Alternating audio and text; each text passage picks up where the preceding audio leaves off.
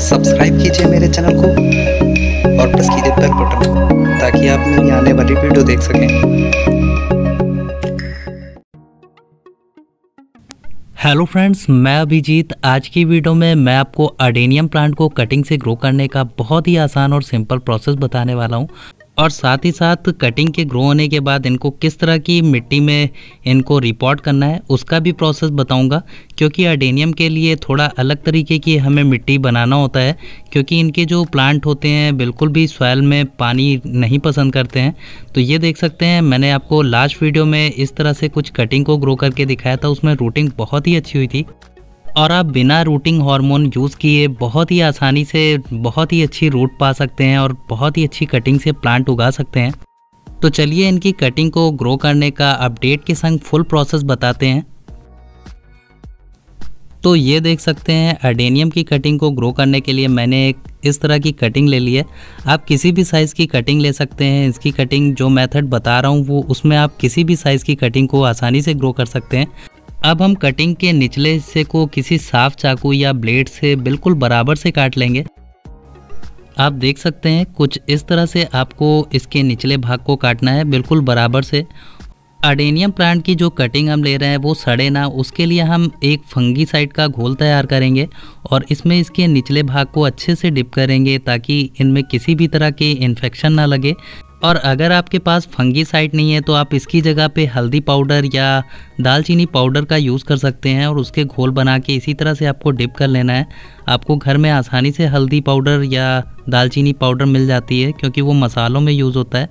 आप कटिंग के निचले भाग पे लगभग दो से तीन इंच तक अच्छे से फंजी साइड को लगा दीजिए। अब आपको एक डिस्पोजल ग्लास लेना है और उसमें नीचे की ओर आपको ढेर सारे होल बनाने हैं, जैसा कि मैंने बनाया हुआ है, ताकि उसमें से वेस्ट वाटर निकल जाए। और अब हम इस कटिंग को डिस्पोजल के बीचों बीच रख के इसके चारों ओर सैंड को भर देंगे। मैं ये जो सैंड यानी बालू का यूज़ कर रहा हूँ, वो मोटी वाली सैंड है, जिसको मोरंग के नाम से भी जाना जाता है। इसमें अडेनियम की कटिंग के ग्रो होने का बहुत ही अच्छा रिज़ल्ट मिलता है। हमने कटिंग को सैंड में लगा दिया है और अब हम इसमें अच्छे से पानी दे देंगे। पहली बार हमें ज़्यादा से ज़्यादा वाटर देना होता है, इतना वाटर देना होता है कि इसके बॉटम से पानी अच्छे से निकलने लगे। पानी देने के बाद अब हम इस कटिंग को डायरेक्ट सनलाइट वाली जगह पे ही रखेंगे। और आपको ध्यान रखना है कि आप इनमें रेगुलर वाटरिंग करिए। रेगुलर वाटरिंग करने का ध्यान रखिएगा कि अगर इनके पॉट में बहुत ज़्यादा नमी अगर है, तब आप इनमें पानी गैप करके दे सकते हैं। और अगर नमी नहीं दिख रही है तो आप इनमें हल्का सा स्प्रेयर्स की सहायता से थोड़ा सा पानी दे सकते हैं। कटिंग ग्रो करते वक्त एक बात और आपको ध्यान रखना है। अगर आप कटिंग से ग्रो किए हुए प्लांट पे जल्दी फ्लावर पाना चाहते हैं तो आप कटिंग उसी प्लांट से लीजिए जिसपे फ्लावरिंग हो रही हो और वैसी ब्रांच लीजिए जो कि मेच्योर हो।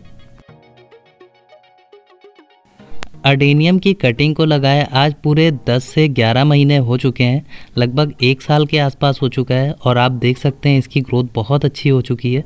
तो इसको मैंने डिस्पोजल में लगाया था और आप देख सकते हैं इनमें नीचे की ओर रूटिंग बहुत अच्छी हो गई है और जहाँ जहाँ से होल था वहाँ से भी आप देख सकते हैं इसकी रूट्स जो हैं बाहर की साइड आ गई है। अगर आप ऊपर से देखें तो ऊपर से भी आपको इसमें बहुत सारी रूट्स दिखाई देगी।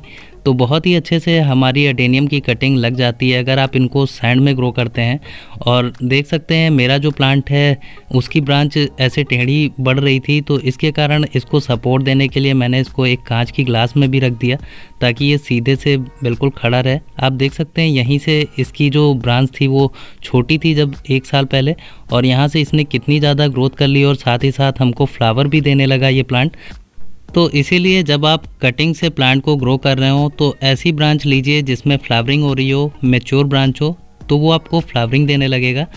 तो चलिए अब हम इस पॉट को हटा लेते हैं। तो हटाने के लिए आपको ब्लेड से हटाना होगा, क्योंकि अगर हम खींच के हटाएँगे तो इसकी रूट्स डिस्टर्ब हो सकती हैं। तो ये देख सकते हैं सेंड में बहुत ही अच्छा रिज़ल्ट हमको अडेनियम प्लांट का मिल जाता है। हम बिना रूटिंग हार्मोन के ही इससे बहुत अच्छे रूट्स पा सकते हैं। तो वॉश करने के बाद आप देख सकते हैं इनकी रूट्स कितनी अच्छी ग्रो हो चुकी है और ये एक साल में बहुत ज़्यादा अच्छे से ग्रो हो चुका है। ये पूरा प्लांट बन चुका है। वैसे तो जब आप अर्डेनियम की कटिंग को ग्रो करते हैं तो ये दो महीने में सक्सेसफुल हो जाती है और इसमें रूट्स आ जाते हैं। लेकिन मैंने इसको ज़्यादा दिन के लिए इसी छोटे पॉट में लगे रहने दिया और लगे रहने के साथ साथ ये फ्लावरिंग भी करने लगा और बहुत ही अच्छा रिज़ल्ट मिला, ये देख सकते हैं आप। बहुत ही अच्छी और हेल्दी रूट्स इसमें डेवलप हो गई हैं। अगर आप अर्डेनियम प्लांट को कटिंग से ग्रो करते हैं तो आपको इसमें कॉडेक्स नहीं मिल पाता है। कॉडेक्स अडेनियम का तना होता है, बहुत ही ज़्यादा फूला हुआ गोल गुंबद जैसा पार्ट होता है नीचे का। तो अगर आप अपने अडेनियम के प्लांट पे कॉडेक्स भी देखना चाहते हैं तो आप अडेनियम के प्लांट को सीड से ही ग्रो करिए। सीड से ग्रो करने पे आपको कॉडेक्स बहुत अच्छा मिलेगा, लेकिन आपको कटिंग से ग्रो करने पे इस पर कॉडेक्स बिल्कुल भी नहीं दिखाई देगा। लेकिन आपके प्लांट पे फ्लावरिंग बहुत अच्छी होगी, ऐसा नहीं है कि आपके प्लांट कटिंग से ग्रो किए हुए हैं तो उस पर फ्लावरिंग नहीं होगी। जैसा कि आप देख सकते हैं, रिज़ल्ट बहुत ही अच्छा मिलता है। तो हमने आर्डेनियम की कटिंग को ग्रो कर लिया। अब हम इनको रिपोर्ट करेंगे। रिपोर्ट करने के लिए इनके लिए अलग सी मिट्टी बनानी होती है तो उसमें हम पहले कुछ छोटे वाले, बजरी वाले पत्थर लेंगे। और अब हम लेंगे सैंड यानी बालू। ये मोटी वाली बालू है, जिसको मोरंग के नाम से जाना जाता है। और अब हम गार्डन सॉयल लेंगे। और उसके बाद हमें लेना है गोबर की खाद। तो ये चारों चीज़ें हमें बराबर क्वांटिटी में लेना है।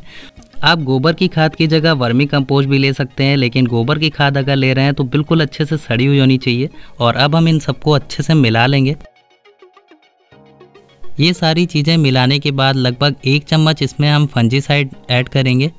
चार से पाँच इंच गमले के लिए मैं मिट्टी तैयार कर रहा हूँ तो मैं एक चम्मच ही इसमें फंजीसाइड ले रहा हूँ, और आप देख सकते हैं हमारा सॉयल मिक्स तैयार हो चुका है।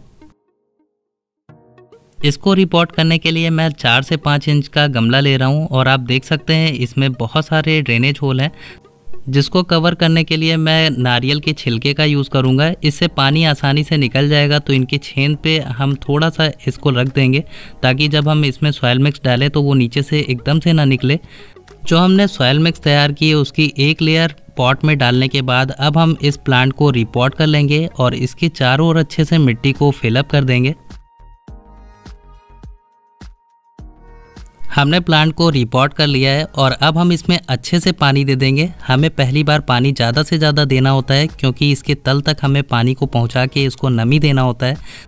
तो हमने प्लांट को रिपोर्ट कर दिया है और अच्छे से पानी भी दे दिया है। अब हम इसको तुरंत ही पानी देने के बाद इसको डायरेक्ट सनलाइट वाली जगह पे रख देंगे क्योंकि ये एक डेजर्ट प्लांट होता है तो इसकी ग्रोथ अच्छी होने लगेगी। तो फ्रेंड्स कटिंग से ग्रो करने का वीडियो कैसा लगा अच्छा लगा लाइक कीजिएगा। Take care and bye bye